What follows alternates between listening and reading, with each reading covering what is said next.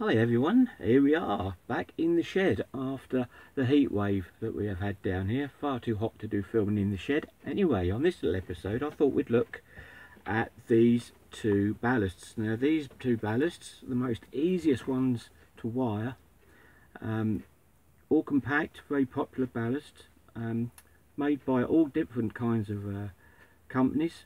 Actually, it's one basic ballast and they just put their stickers on it. So here we have a, a Siemens and a Transstar Now, most of these wire up mostly the same. They have the igniter inside. However, this one here that I found out is tapped differently to this one. Not only is the taps high there, the taps are lower down on there as well. Both 35 or 55 watt SOX lamps. These were power. And if I just tip them up. You can see the numbers if you look at the number let me get a, just to point it out because we don't like fingers in the video. Some people don't like fingers. You can see the numbers on this one. The wiring numbers are different to the ones on here. Yes so it confused me when I first got this one because it had an external igniter connected to it and it looked as if it was bridging on the power supply in. So always worth with these ballasts just checking out the numbers. So this one goes 1, 2, 3, 4, 5 and this one goes 5, 4, 3, 2, 1. It goes backwards so it's basically the same but it's just reversed round. And most of these ones that I get are uh, wired inside eternally the same as the Siemens and but this Transstar quite a different kettle of fish altogether. Okay, so what we're going to do is we're going to see if we can fire this one up and I'll show you how to wire this one as well. If you're following along, you do so at your own risk. So we'll just move this one out the way, this Siemens uh, ballast, we'll put that at the side there. So, what we got then? Right, let's start with the power in. Let's just, it's got a few cobwebs on there. So, the power in, very good. So on this one, it tells you at the top there I can get it nearer the camera. Can I get near the camera? There we go. Right, so power in. 240 to 50 haze, 1 to 2. So it would be these two there. So what we would do, they say this is the power. We're going to see if we can fire a lamp up on this. So what we should do is, we shall connect the power to this. Boom, boom, boom. Right, okay. Note it's got an earthing thing on the side as well. Um, when we do all uh, lighting always put an earth on. Um, I uh, sometimes don't use an earth if I'm just demonstrating because we know not to touch the ballast. So what we're doing at the moment we're putting the mains power in. So this will be what will be coming into the column. And this is how easy these ones are. There we go just get that one in there. Sometimes these screws in the top aren't very uh, cooperative and I'm doing this back to front for the camera. So it's a little bit different for me because I can't actually see what's going in there. But there we go. Right let's get that one in there like that. There we go. As long as it holds in and we're getting no arcing. Is that gripped to that? Yeah that's gripped that okay Right, we'll just put that around there like that out of the way. Because the other end of that has got a plug on, so we can plug it in. So there we've got is the neutral on two and the live on one there. So what we're going to be firing on this one, we're going to be firing up a 55 watt SOX.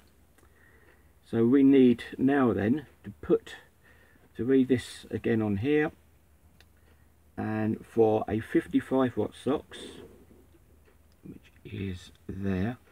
55 watt SOX. The numbers are 3 and 5 so this is our lamp holder that we're going to put the SOX uh, lantern into. Doesn't matter which way these wires go round um, some of them have just got the same colour cabling on them so it, it doesn't matter. It's not you know it's no big deal which way you put them round. So what we'll do is we'll put the white Let's put the right into, let's say the right is the live, so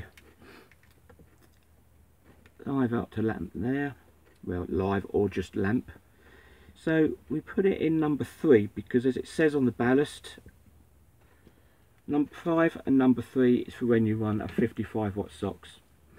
and for 35 watt SOX, it's 4 and 5 so basically these two together for a 35 and this one and this one for 55 okay? And this is about about these ballasts these are so easy because although they've got the, the uh, igniter inside not always that the igniter works in these but I'll tell you about that in a sec. Let's just get this fired up and see what we can do with it. Okay right. So we got that there. Just put that down there a minute. Okay, so what we need next is a sodium lamp, which I have here. Here, here, here and here, and here we here, here, here, here, here. Here we have a 55 watt SOX. Making a bit of a weird noise this one. Get the cover off. 55 watt SOX lamp. There we go. Philips. See that on there? Philips 55 SOX, Is that showing up on there? Just about. You can see just about the etching. And we will put this into this one here. So right, so we can see now how we've got it configured actually I could just trap the earth underneath there so there we go now this is a moment of truth. Now if it lights it means that the 55 watt side of the igniter in this is good. Um, however sometimes on these the 35 watt when the um, lamp is actually um, blown it's not working it does tend to burn igniters out. So that's when we start to use these and we just link these between the between the two terminals of the lamp. This is an a, uh, external igniter. This is what we use and can be used with these so you don't waste the, the actual ballast. So that's a good that's, that's a good thing to remember that you can always put an inline external igniter with these. But this one is rated at 35 watts so you need to have a 55 watt if you're doing 55 watt tube. Now, knowing the history of this ballast, this has been for a long, long, long time uh, been powering a 35 watt. So the 55 watt tap on this has never been used. So hopefully it will fire the lamp. But we'll have a look and see how we get on with it. So let's plug in and see if it will fire. Which hopefully it will. So here we go. Now obviously the whole thing is not firing because it does need an, a counterbalance. It has been damaged in some way so it should be working but we're not working if you know what I mean. so this should be working on there. Um, to get it to work we should really need to put this we need to put this in but we can't put this in because I haven't got a 55 watt. Actually just a minute I think I have got a 55 watt igniter think I've got one.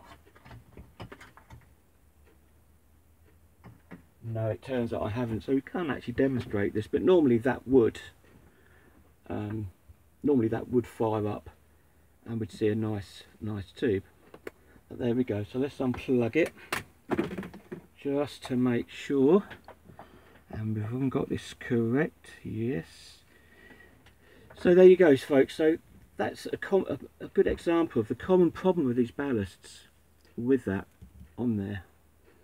Um, we might see if we can just quickly if we've got time just undo this one. And we'll swap the ballast over. And what we'll do is we'll put we'll just try the Siemens on there. I think I've got about 13 minutes time on this particular um, uh, car that I've got in the camber. Right, let's take all this out. Let's swap it over and uh, see if we can get the Siemens one to fire this up. So we know now that this is going to require an external igniter. So we know this is basically igniters a, a, a can, can put on this. so that one can go over there so then let's wire the Siemens up again different wiring diagram on there but we should be okay with this one so on this particular one the actual power in is there which is the 35 which is the 55 watt tap. So we have power in on the 55 watt side. Note there I nearly put the neutral in which is a no-no. So that is the tap there for the 55 watt SOX that we've got at the side here.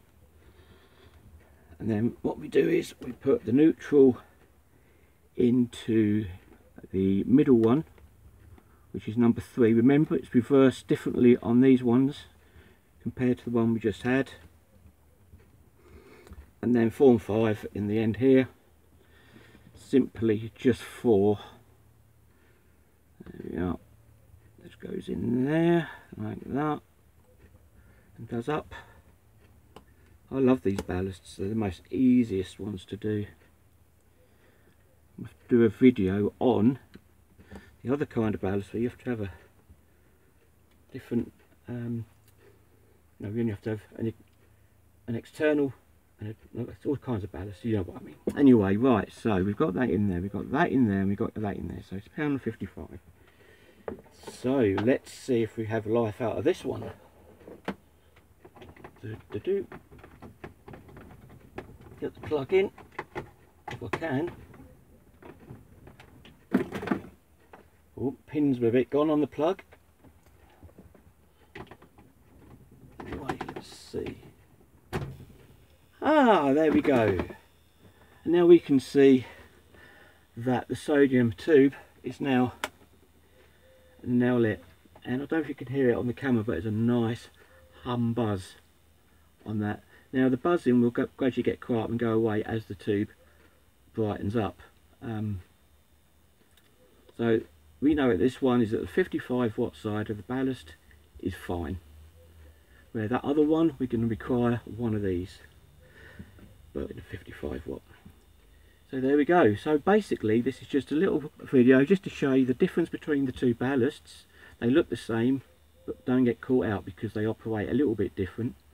We've also covered that if the igniters are, are shot on these we can always put a uh, external igniter just been away from the lamps.